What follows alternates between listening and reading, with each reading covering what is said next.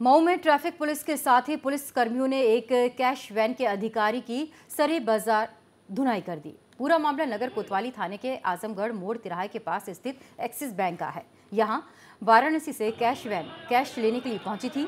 Bank पर नोटबंदी के कारण भारी भीड़ थी, जिस कारण मजबूरी में कैश वैन को सड़क के पास खड़ा कर दिया गया। वैन को सड़क पर खड़ा करने से जाम लग गया। जाम खुलवाने के लिए यातायात सिपाही सुनील सिंह मौके पर पहुँचा।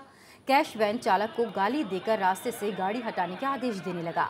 चालक ने वैन तो रास्ते से हटा ली, लेकिन साथ ही सिपाही के गाली देने का विरोध किया। कैश वैन के गार्ड ने जब यातायात के सिपाही की गाली का विरोध किया तो यातायात के सिपाही सुनील सिंह सहित वहाँ मौजूद पुलिस कर्मियों ने सरेआम कार्ड की जमकर धुनाई कर दी। घटना की तस्वीरें बैंक के उपभोक्ता ने अपने मोबाइल में कैद कर ली। फ़िलहाल मामले पर किसी तरह की कोई कार्रवाई अभी तक नहीं की गई है।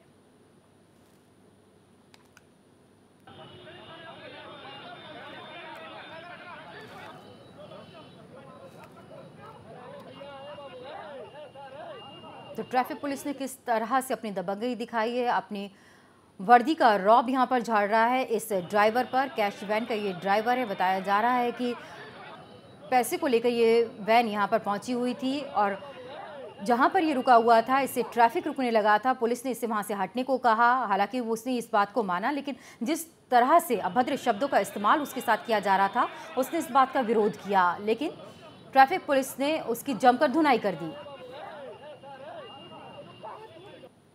दुर्गा सिंह संवाददाता हमारे इस वक्त हमारे साथ फ़ोन लाइन पर जुड़ गए हैं। दुर्गा, अगर गलत शब्दों का इस्तेमाल किया जा रहा था, ड्राइवर ने उसका विरोध किया तो उसकी धुनाई कर दी गई। क्या पुलिस ने अभी मामला दर्ज किया? देखिए, पूरा मामला तो है जो ट्रैफ़िक पुलिस के सिपाही ने तो आरोप लगाया है लेकिन वो कितना पुष्ट है तो बात की बात है।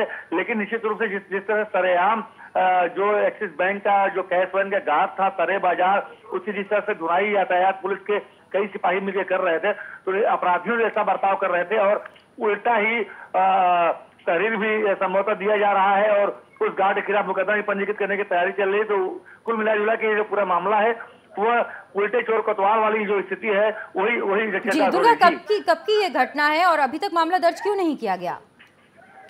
ये घटना है अभी घटना के बाद जो है आ, मौके पे पुलिस के अधिकारी पहुँचे थे और उन्होंने मौके का पूरा मुआयना किया घटना की जानकारी ली। हालाँकि गार्ड जो था वो क्योंकि बाहर से कैश आई थी और गार्ड चला गया क्योंकि गार्ड की तरफ़ से कोई प्राथमिकी नहीं दी गई थी लेकिन जो यातायात के पुलिसकर्मी थे उनकी तरफ़ से खरीद दी जा रही है और मुकदमा गार्ड के खिलाफ दर्ज करने की तैयारी की जा रही है। जी। दुर्गा, ये तो तस्वीरों में साफ़ दिखाई दे रहा है कि वो किस तरह से अपने आप को ड्राइवर बचाने की कोशिश कर रहा है और पुलिस वाले जो वहाँ पे सिपाही हैं, कांस्टेबल वहाँ पर हैं, किस तरह से उसकी पिटाई कर रहे हैं?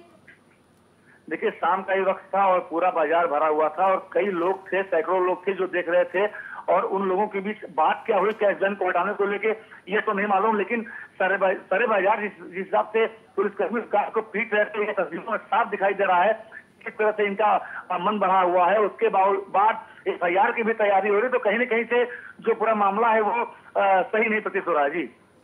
जानकारी के लिए दुर्गा आपका बहुत बहुत शुक्रिया।